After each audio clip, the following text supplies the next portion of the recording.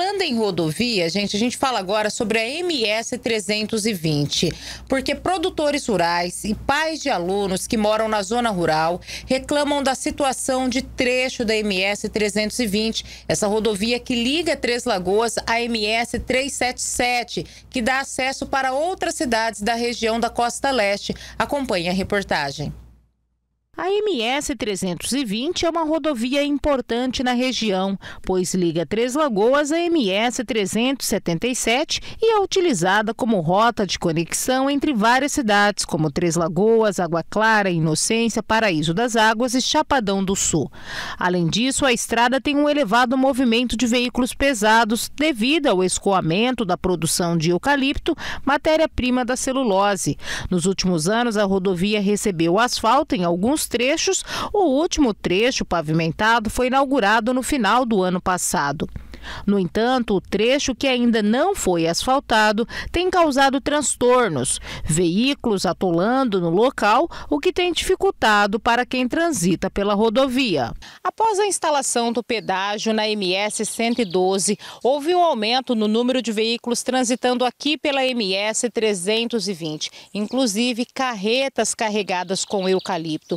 Por esse motivo, a AGESU vai se reunir nesta quinta-feira com representantes da Eldorado Brasil e da Suzano para solicitar uma contrapartida dessas empresas de celulose para a manutenção da MS 320. A pecuarista Mara Belchior falou sobre a situação desse trecho da rodovia. A situação da MS 320 está complicada, pois devido à construção do pedágio da MS 112 entre Três Lagoas e a Inocência, as carretas, quando vazias, elas estão preferindo passar pela MS 320, mesmo ainda tendo 64 km de terra.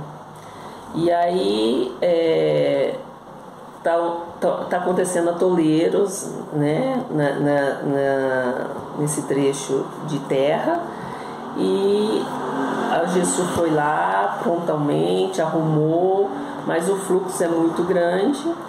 É, ela arruma uma semana, na outra semana continua do mesmo jeito. Então agora é tentar fazer um cascalhamento, né? Acho que vai ter que fazer esses três pontos, vão ter que cascalhar para é, ajudar no fluxo, porque atrapalha muito, né? Tanto nós produtores como também os ônibus escolares, né? Segundo o engenheiro da AGSU, Agência Estadual de Gestão de Empreendimentos em Três Lagoas, Mário Márcio, devido às fábricas de celulose e o plantio de eucaliptos na região, o tráfego de veículos nessa rodovia aumentou consideravelmente. Houve uma mudança no, no, no tráfego nosso ali, né? Assim, não é de hoje também isso. É, a gente já tinha problemas com, com, com as empresas de celulose. Tanto plantio, tanto na colheita. Aumentou muito o volume, o, o a, a, carga utilizada por eles é uma carga muito grande. E hoje tem mais um problema, que é o desvio da, da, da estrada MS 112, que está em concessão.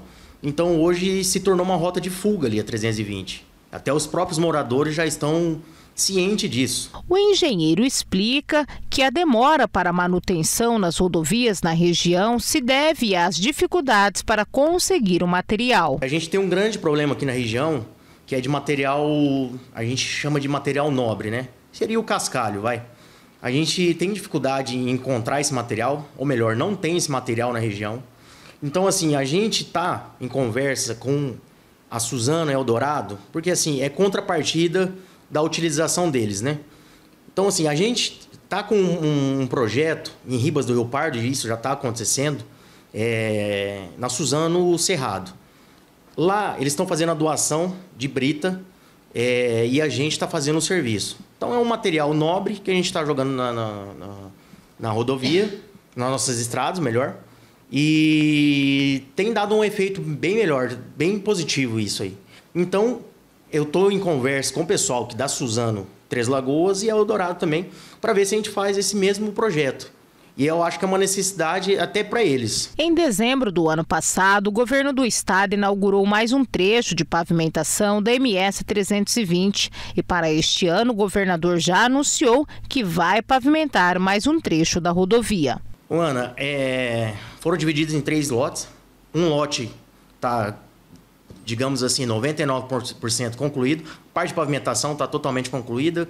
Está fazendo alguns detalhes, é plantio de grama, é, alguma manutenção de erosão, que teve, que teve uma mudança muito grande, né? E tá faltando dois lotes ainda. Que mais aproximadamente são 65 quilômetros aí que falta para terminar essa pavimentação.